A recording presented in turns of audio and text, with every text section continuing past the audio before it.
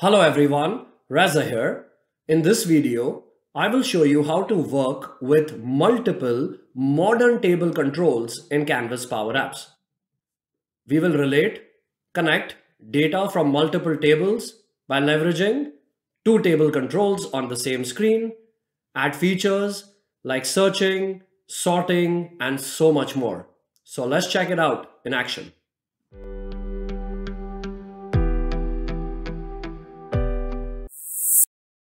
I have a table in Dataverse called company that has information about company details that my organization does projects with.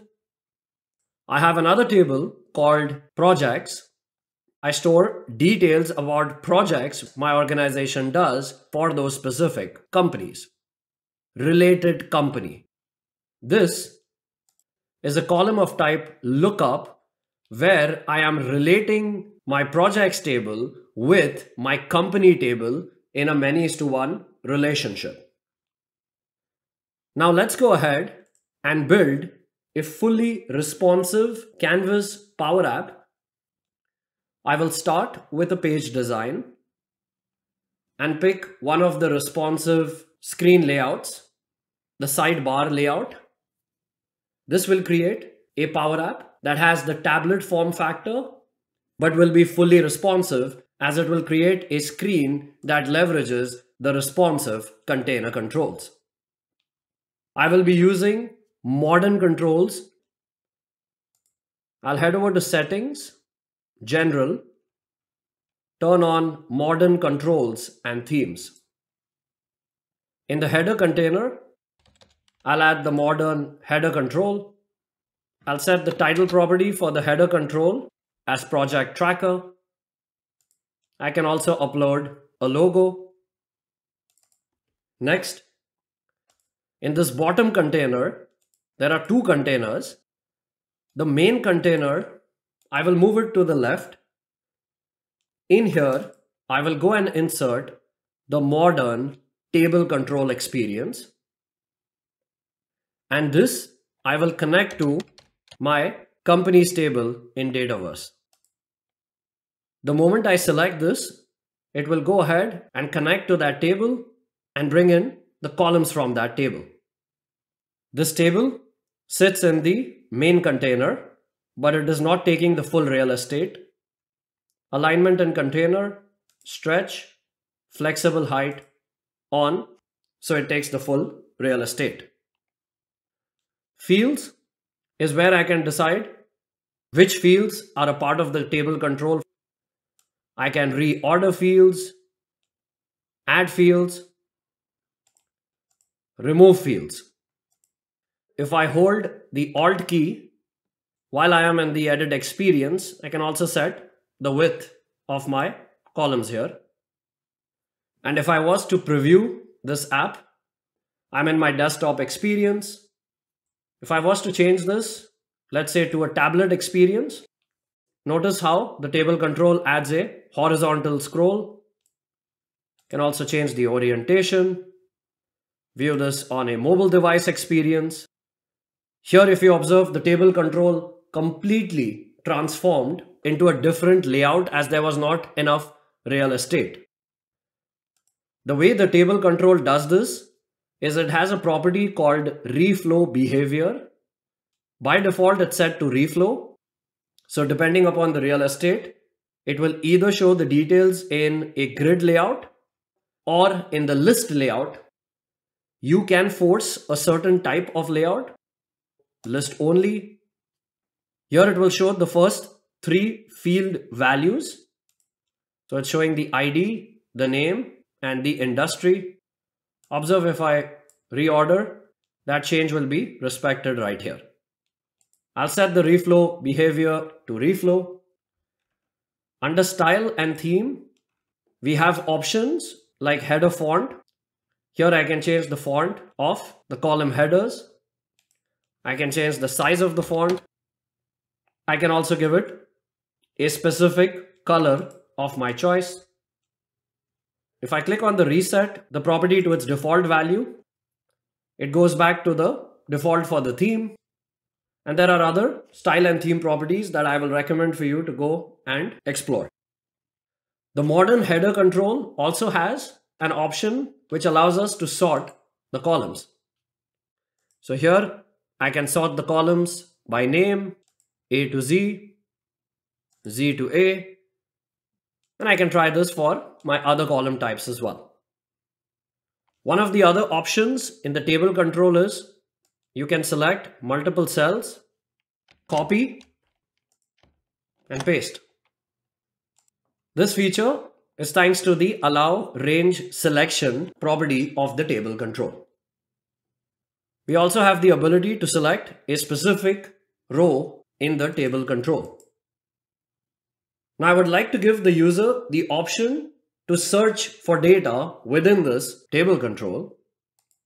For that, I'll select my main container and insert the modern text input control. Reorder, move up, align it in the center, placeholder text. You can use emojis here. I'll put the search emoji and say search companies. This text input control, I'll rename it. And I would like to use the text that the user enters to perform a search action on the items property of my table control. Search in my table companies, my text controls value property, I would like to use that to search in the following columns. Search in the ID column, search in the name column, founder column. Now as the user types in this text box, it will constantly keep searching. The text input control has a property called delay output. Set this to true. From a performance standpoint, it gives a better option because it will wait for the user to complete typing. I'll search for green. Green is in the name column for one of my companies. 7. Lee. I have my companies and the user has the option to select a company.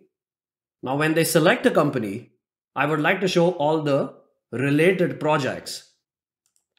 In my right section container, projects for table company dot selected dot name. So observe as I select a specific record in the company table, on the right hand side, the badge control shows the name of that specific company. And in this sidebar container, I will go and insert the modern table control again. And this one, I will connect it to my projects table. In my scenario, my sidebar container has limited real estate. So this would be a good option for me where I can set the reflow behavior to list only. Now I would like to show only the projects that are related and to do that for the items property of my projects table, I will use the formula table company dot selected dot these two tables are related with each other. My table is called RD projects, so I can simply pick that. If I preview and select a specific company, it will try to show the related projects. Biotech Labs has three projects, whereas for Global Logistics, I do not have any related projects. Now, if I sort or search, the table control refreshes here and there is no selection. And when there is no selection, the container on the right hand side should ideally not even be visible. And we can do this by setting the visible property of the sidebar container as not is blank table company dot selected dot I have a mandatory field name so I'll leverage that only the company's table is visible. But the moment I select a company, it will light up the sidebar container to show the related projects I'll search for Smith. The search query was applied. I select. I can see the related projects if there are any. The projects table, let's add searching capability here as well.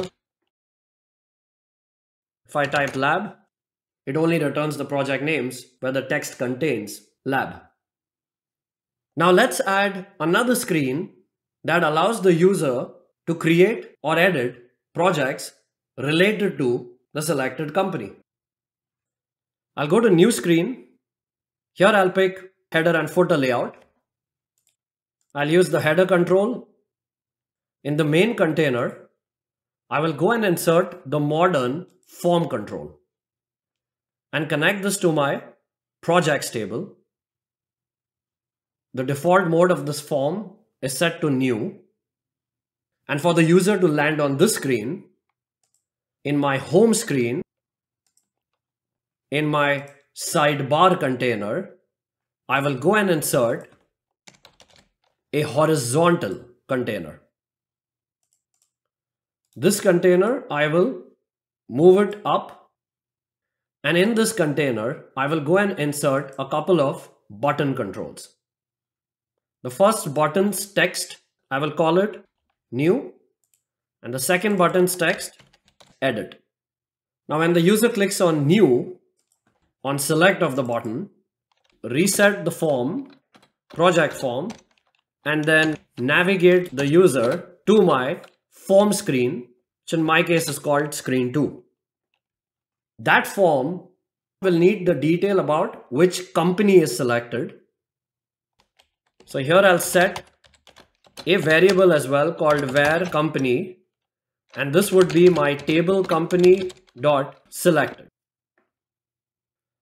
So if I preview, click new, leads me to the project info screen where I can create a new project.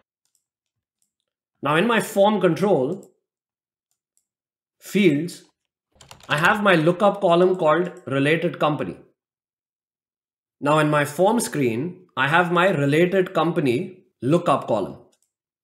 And this I would like to set directly based upon the company that the user selected on the home screen. So for the related company data card, I will unlock it. And the default property I will set as my variable that I set, which is varCompany. And it will go and automatically select it. And since I do not want the user to change this, its display mode I will set as display mode dot view. We need to give a submit button. This footer container, I'll move it up and in here insert a button. On select of this, I'll use the function submit form to submit the data in my form control. The form control has an on success function here back to take the user back to the previous screen. I'll pick Healthcare Corp, no projects. I'll create a new one. Related company is set. And once I click submit, it should go and add the data in my data source. If I pick Healthcare Corp, here is that related project. And I can also allow the user to edit existing project details for the on select, leverage the same code for the edit button. After resetting the form, I will set the mode of the form to edit. I'm setting my company. I also need to set the project. Click edit. Doesn't show me anything. That's because for the forms item property, all I have to do here is set this to varProject and now it should load all the details. Let's change the status of the project to in progress. Submit. That should go and make the modification in my data source. Select the company. Here is the status that was updated. If you enjoyed this video, then do like, comment and subscribe to my YouTube channel and thank you so much for watching.